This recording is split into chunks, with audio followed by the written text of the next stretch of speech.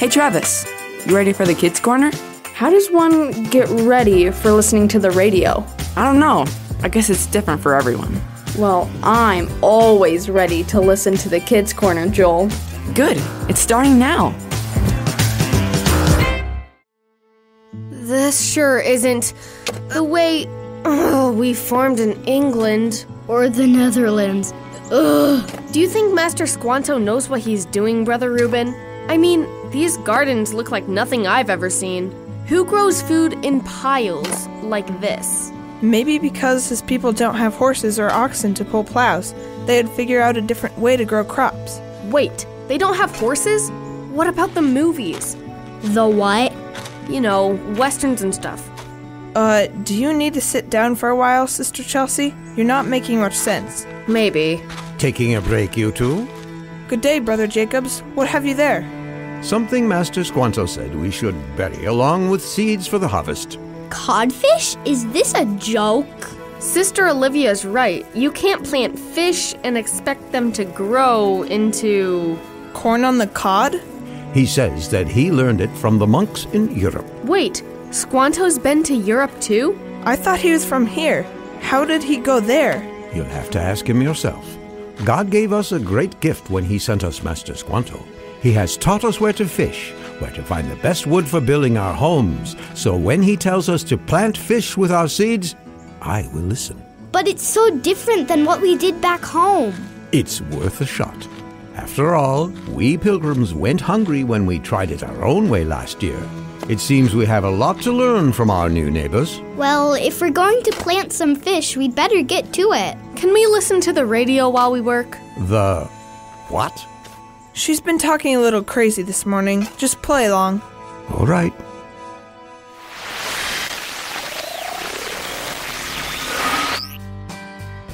Mr. Standish, we've got no food! Oh no, what will we do? We can't feed ourselves through the winter. Hello, pilgrims, we have food! We're saved! Hey, Livia, what's going on? Oh, uh, hey, Reuben. I was just playing with the Thanksgiving decorations. Chelsea and I are helping Mr. Jacobs set up for the community center charity dinner on Wednesday. You want to help? Sure, I guess. So, what is a charity dinner?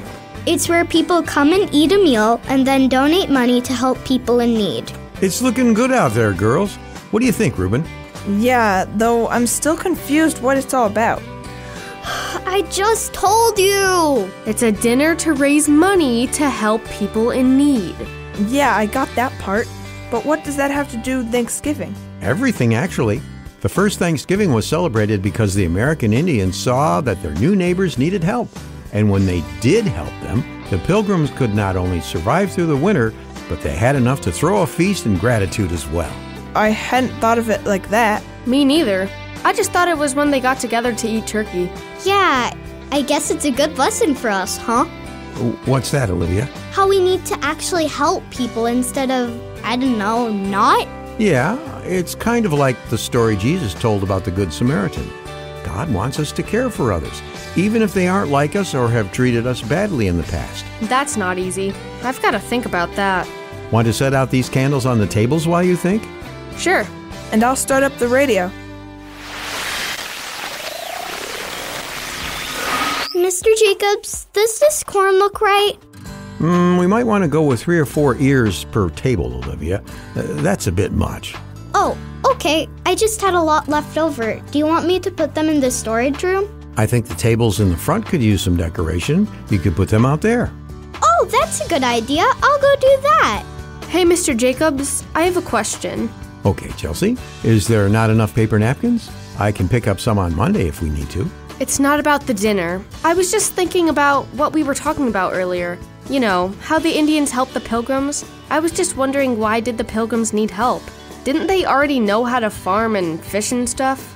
Mm, I'm not sure if they did or not. But winters in most of Europe aren't as harsh or as long as the ones here in America. And assuming the pilgrims did know how to hunt, farm, and fish, they didn't know where the best places were for those kinds of things. Nothing about this new land was familiar. And because they didn't know how to get food here, many starved until Squanto and others came and showed them. Oh, okay. That makes sense. Um, since we're asking questions, I have one too, if that's all right. Sure, Reuben, what's on your mind? I've been thinking about what you said about how we need to show kindness to people who need help, because that's what living for God looks like. Yep. Well, since I've started hanging out here and at your garage, I've been trying really hard to learn what God wants me to do, and then, you know, doing it. And how's that turned out? Not good. Just when I think I'm being patient, I realize I'm not being kind. Or maybe I'm not trusting God enough. It just seems to. to be impossible. You're right. It does seem to be impossible.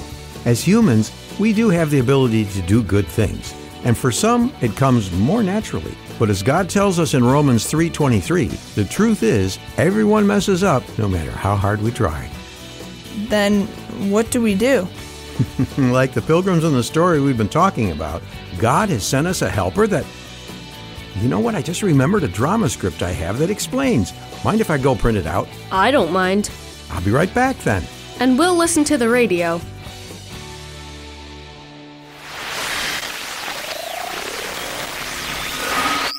And now, from the garage of Lionel Jacobs comes the empowering drama, Workout-O-Matic, an adapted biblical teaching about virtue. Once upon a time, there was a gym instructor. Hi, Gemma is the name, fitness is the game. Go ahead and get your mats out and let's burn some carbs. Every Tuesday and Friday evening, she would run classes for all kinds of exercises, and her students looked forward to each and every one of them. I love coming in and getting my heart pumping. Gemma's the best. Yeah, her classes are the best. I wouldn't miss a single one. Well, maybe leg day. Oh no, leg day is the best day. Got to tone those glutes. Come on, people, let's get some burpees in before we hit the chin up bar. One day, Gemma had an announcement for her students that made them all rather sad. All right, class, good work today. Before you go, I need to tell you some exciting news. Exciting news? I'm confused. Didn't the narrator just say that this was gonna make us sad? Well, yes, but it's also exciting. See, my dad and I are starting work on our new gym facility downtown. It's gonna be so much better than our space here, and you're going to love it. I'm talking a pool, weight rooms, treadmills, punching bags, basketball courts, the works. So, what's the sad part? Well, seeing as I'll be busy working on the new gym, I won't be able to run classes here during the week. What? But how are we gonna stay in shape? How are we gonna feel the burn? Calm down, calm down. I've thought about that, and to keep you on track, I've taken the liberty of ordering you all each a workout o-matic. Ooh. This state of the art contraption of my own design is going to power up your workouts 20 fold. Each day is a different experience from cardio to curls, crunches to calisthenics. Next time I see you, I might not even recognize you. And so, after a few weeks, Gemma bid her students goodbye, and true to her word, 10 days after that, each of her students received their very own Workout-O-Matic. Awesome. I mean, it's not like having Gemma right here, but having this is still really cool. Months went by, and the students awaited the opening of the new gym. And just when it seemed like it might not ever open, We're back, baby. Yes, it's about time. Hey Gemma, check out these pythons. Whoa, sick gains, girl. Thanks. I've been using the Workout-O-Matic every day and it's changed my life. That's what I like to hear. Let's get started. Did you use the workout o-matic? Eh, when I felt like it. But when I didn't see any results, I figured I'd just wait until the new gym opened. Uh, boy, we've got some work to do. the moral is God has given His Spirit to us to help us live holy lives. Through His power, we can have love, self control, and peace that is beyond human understanding. But it's not something that just happens. You have to actually listen to the Spirit and let it work in your life. Because if you keep living for yourself, you won't be seeing the results God wants for you.